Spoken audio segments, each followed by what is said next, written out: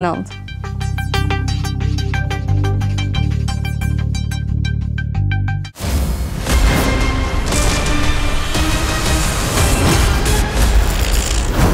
Herzlich willkommen zum Ski Extra hier aus Kitzbühel. Der Sieger in der heutigen leicht verkürzten Abfahrt ist der Norweger der Alexander Kilde.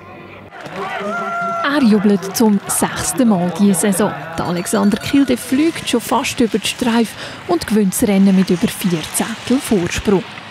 Gutes Plan gehabt, habe ich es geschafft.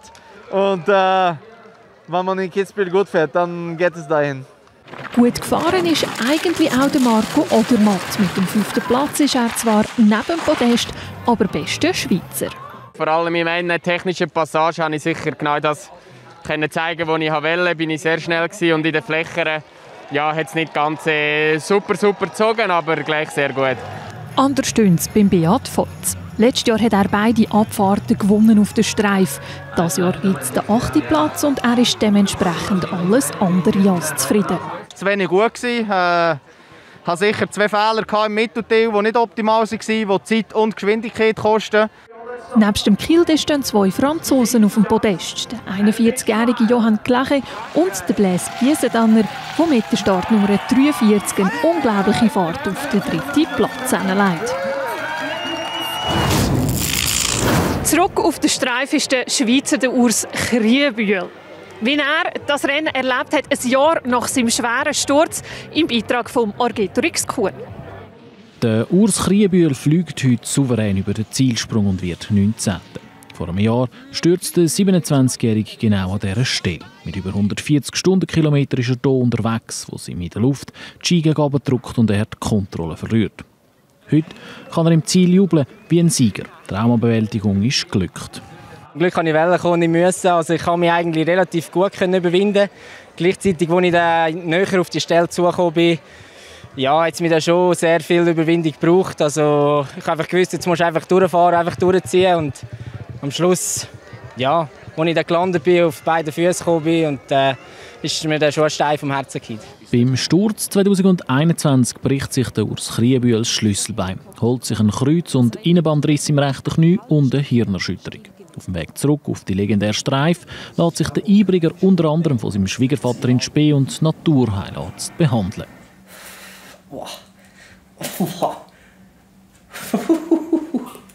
Ja, es war sicher ein schwieriger Weg. Also, es ist, äh, sind einige Steine im Weg, die ich da auf die Seite gebuckelt habe. Und von dem her bin ich umso mehr stolz, dass ich jetzt hier stehen kann und ein gesundes Interview geben kann. Wie für die anderen Schweizer Abfahrer steht auch für Urs Kriebühl am Sonntag die zweite Abfahrt zu Kitzbühel an. Das Ziel des Einbriger dann, mit dem heute gewonnenen Vertrauen eine noch etwas schnellere Linie auf der Streife zu finden. Mit der Hanekammbahn kommt man einerseits an den Start der legendären Streif und man kommt auch zu der Elisabeth Schipflinger oder besser bekannt als Lisi vom Hahnenkamm-Stüberl. So Jungs, da habt ihr einen Kaiserschmarrn. Vielen Dank. Danke. Mit unseren Heidelbeeren, gell? Darfst du ja gut in Ehren halten und den esst jetzt. Mahlzeit! Ein Kaiserschmarrn nach dem anderen kommt aus der Küche. Und Gäste mit ihrer Spezialität verwöhnen, ist das Größte für die Lisi. Ich möchte nichts anderes da. Ich bin seit 48 Jahren Wirtin. Und bin zuerst ein bisschen Skirennen gefahren, habe mich aber verletzt. Und dann habe ich es lassen müssen und seitdem muss ich leider arbeiten. Aber am schönsten Platz der Welt, am Hahnenkamm. Die 63-Jährige hat einen Haufen Geschichten zu erzählen aus ihrer Zeit als Skifahrerin, aber natürlich auch als Wirtin. Und ihre Gaststube könnte schon fast als Museum durchgehen. Das sind von Birmin zur Brücken. Der ist gleich alt wie ich. Das sind seine Trainingsski, wie er auf der Streif gefahren ist. Zu ihren Stammgästen zählt der damalige Skirennfahrer und heutige Schlagerstar Hansi Hinterseher. Und einisch sei Arnold Schwarzenegger in ihrem Stüberl vorbeigekommen. Jetzt sitzt er tatsächlich da und dann habe ich gesagt, grüß dich Anik. Nein, nicht, dass du auch zu mir kommst einmal. dann schaut er mich an, dann sage ich, ah, was magst du? Ah ja, Hast du einen Apfelstrudel?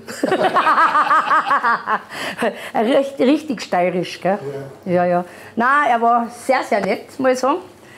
Äh, und die Leute waren mucksmäuschenstill. Es war so lustig. Sie will sicher noch zwei Jahre warten, bis sie das 50-Jährigen im Hahnenkammstübel feiern können.